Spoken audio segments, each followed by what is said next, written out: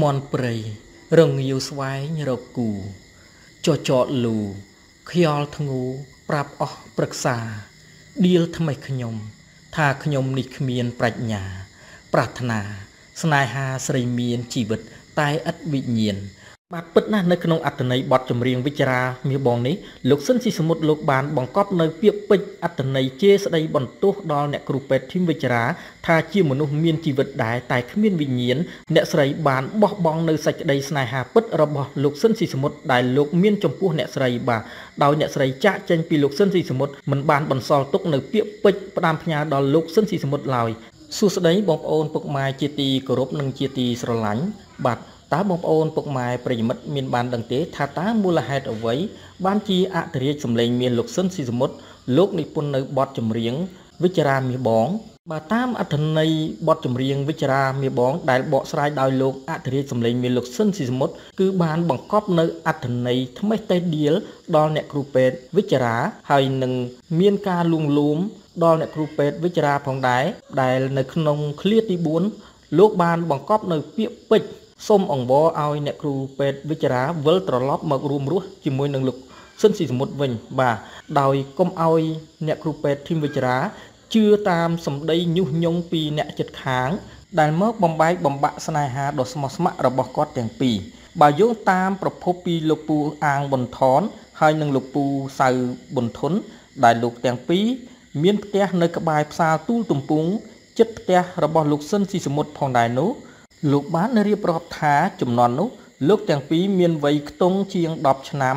ហើយតែងតែឃើញលោកស៊ិនស៊ីសមុទ្រមានទំនាក់ទំនងជាមួយនឹងអ្នកគ្រូពេទ្យធីមវិចារាយ៉ាងស្និទ្ធស្នាល លោកថានៅវេលាម៉ោង1ជាងទៅម៉ោង2លោកតែងតែឃើញលោកស៊ិនស៊ីសមុទ្រយកឡានមកទទួលអ្នកគ្រូពេទ្យធីមវិចារារៀងរាល់ថ្ងៃ ទៅមន្ទីរពេទ្យទាំងអស់គ្នា ហើយលោកទាំងពីរបញ្ជាក់ថា អ្នកគ្រូពេទ្យធីមវិចារា មានរូបសម្ផស្សស្រស់ស្អាតខ្លាំងណាស់ថែមទាំងមានចរិយារឹកពៀទន់ភ្លន់សុភាពរៀបសាររុះរាយរាក់ទាក់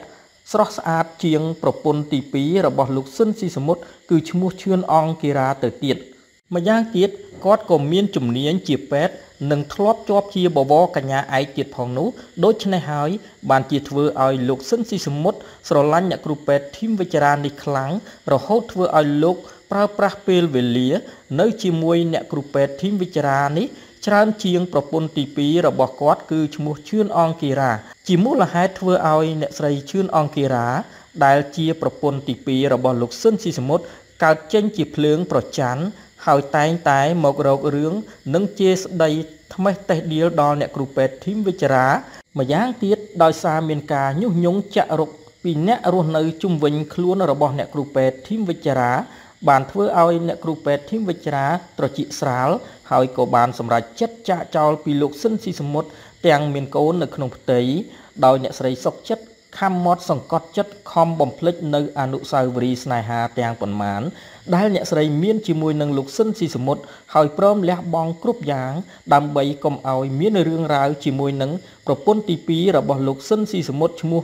អ្នកស្រីអង្គគិរានេះតទៅទៀតអ្នកគ្រូពេទ្យធីមវិជ្រា បានចាក់ចោលលោកស៊ិនស៊ីសមុទ្រទៅរស់នៅឯខេត្តកំពង់ឆ្នាំងជាមួយនឹងសាច់ញាតិរបស់អ្នកស្រីវិញ ទាំងក្តីអាឡោះអាល័យដោយអ្នកស្រីមិនបានបន្សល់ទុកនៅពាក្យពេចន៍ផ្ដាំផ្ញើដល់លោកស៊ិនស៊ីសមុទ្រឡើយធ្វើឲ្យលោកអធិរាជសម្លេងមាសលោកស៊ិនស៊ីសមុទ្រក្រំគ្រាចិត្តខូចចិត្តយ៉ាងខ្លាំងដោយសារការចាក់ចេញរបស់អ្នកគ្រូពេទ្យធីមវិជ្រា ដែលមិនបានបន្សល់ទុកនៅពាក្យពេចន៍ផ្ដាំផ្ញើដល់លោកស៊ិនស៊ីសមុទ្រនោះបានជានៅក្នុងបទចម្រៀងវិចារាមាសបង បង្កប់នៅអត្ថន័យជេរថ្មេះតេះដៀលផងនិងលួងលោមអង្វរឲ្យអ្នកគ្រូពេទ្យធីមវិចារាវិលត្រឡប់មករួមរស់ជាមួយនឹងគាត់វិញផង បាទដូច្នេះខ្ញុំសូមបកស្រាយនៅបទចម្រៀងនេះជូនដល់បងប្អូនប្រិយមិត្តអ្នកស្ដាប់ដូចតទៅមន់ព្រៃរងាវហើរគូ ចចងលូខ្យល់ធ្ងោប្រាប់អស់ប្រឹងសាដៀលថ្មេងខ្ញុំ ថាខ្ញុំនេះគ្មានប្រាជ្ញា ប្រាថ្នា ស្នេហាស្រីមានជីវិតតែឥតវិញ្ញាណវងក្អែកវងថ្មាតសោចចំអក អែលលោកបែមកទុំហើយកិញកាស្អប់ខ្ពើមខ្ញុំក៏ខ្ញុំមិនខ្ចីព្រឺដែរឲ្យបែឲ្យប្រែចិនពីវជ្រាម្ដេចនឹងបានទ្វីបលោកវល់វល់ដូចកង់រទេះ រឿងនេះថ្ងៃនេះវិលលឿនក្រៃដល់ស្អែកប្រែជាយឺតឥតមានន័យម្ដងភ័យម្ដងអកំរទាយត្រូវវិជ្រាអូនកុំភ័យកុំគិត អើយតែចិត្តយើងពិតស្មងស្មងមេត្រីមនុស្សសោចយើងគង់ទេវតាឲ្យពរជ័យស្អែកថ្មីលែងអីវាសនាចាឲ្យយើងផុនទុកអើយ បងប្អូនពុកម៉ែប្រិយមិត្តបាទច្បាស់ណាស់នៅក្នុងអត្ថន័យបទចម្រៀងវិចារាមាបងនេះបាទលោកសិនស៊ីសមុទ្រលោកបានបង្កប់នៅពាក្យពេចន៍ស្ដីបន្ទោសឲ្យអ្នកគ្រូពេទ្យធីមវិចារា ដែលជឿលងតាមសម្ដីអ្នកដតីហើយអ្វីអ្វីដែលលោកបានខំប្រគល់បេះដូងនិងចិត្តស្មោះស្ម័គ្រដល់អ្នកគ្រូពេទ្យធីមវិចារាបែជាអ្នកគ្រូពេទ្យធីមវិចារាមិនផ្ដល់សេចក្តីស្រឡាញ់ដ៏ស្មោះស្ម័គ្រឲ្យទៅលោកស៊ិនស៊ីសមុទ្រវិញបាទ ធ្វើឲ្យលោកខូចចិត្តក្រំគ្រាចិត្តយ៉ាងខ្លាំងបានជាមាននៅក្នុងបទវិចារាមាសបង លោកបានបង្កប់ពាក្យពេចន៍អត្តន័យថ្មេះតែដៀលដល់អ្នកគ្រូពេទ្យធីមវិចារាត្រង់ឃ្លាដំបងបងប្អូនប្រិយមិត្តមន់ព្រៃរងាវស្វែងរកគូចចតលូខ្យល់ធ្ងូប្រាប់អស់ប្រឹក្សាដៀលថ្មេះខ្ញុំ ថាខ្ញុំនេះគ្មានប្រាជ្ញា ប្រាថ្នា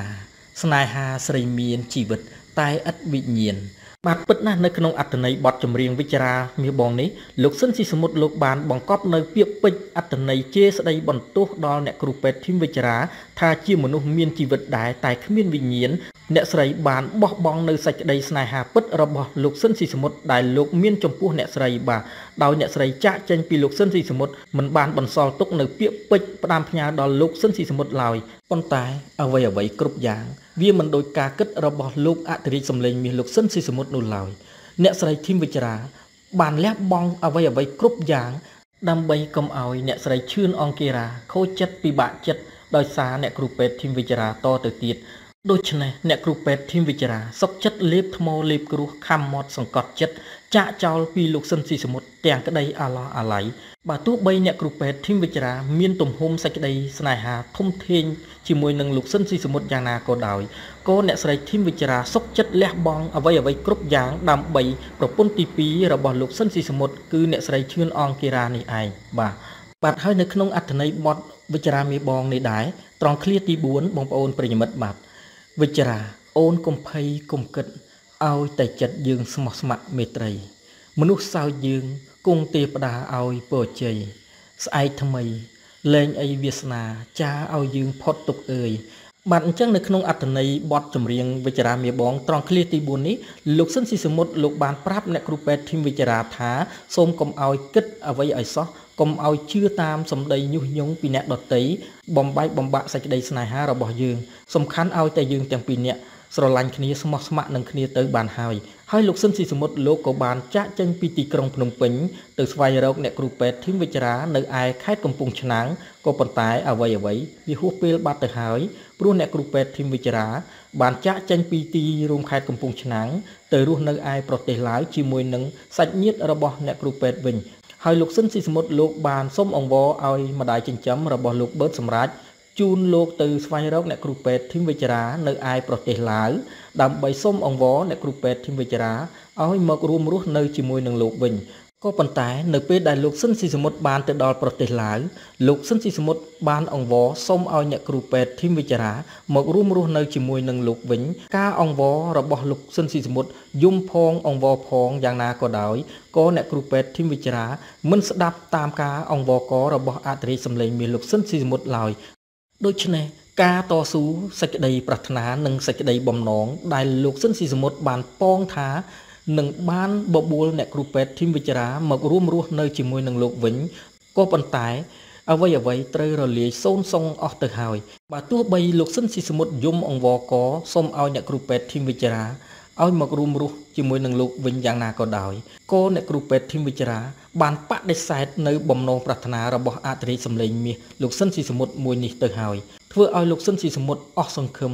បានវិលត្រឡប់មកតែម្នាក់ឯងមកទីក្រុងភ្នំពេញវិញបាទអរគុណច្រើនបងប្អូនប្រិយមិត្តបាទបាទអញ្ចឹងសេចក្តីអធិប្បាយនៅប្រវត្តិស្នេហារបស់អធិរាជសម្លេងមានលោកសិនស៊ីសមុទ្រជាមួយនឹងអ្នកគ្រូពេទ្យធីមវិចារា ដែលមានអត្ថន័យតាក់ទងទៅនឹងបទចម្រៀងវិចារាមាសបងនេះបាទសូមបញ្ចប់ត្រឹមនេះណាបងប្អូនប្រិយមិត្តបាទប្រសិនបើមានការលឺលួសខ្វះខាតត្រង់ចន្លោះណានោះសូមបងប្អូនពុកម៉ែប្រិយមិត្តមេត្តាខន្តីអភ័យទោសដល់រូបខ្ញុំផងបាទបាទសូមជូនពរដល់បងប្អូនពុកម៉ែប្រិយមិត្តជួបប្រទះតែសំណាងល្អគ្រប់ពេលវេលាអរគុណសូមជម្រាបលា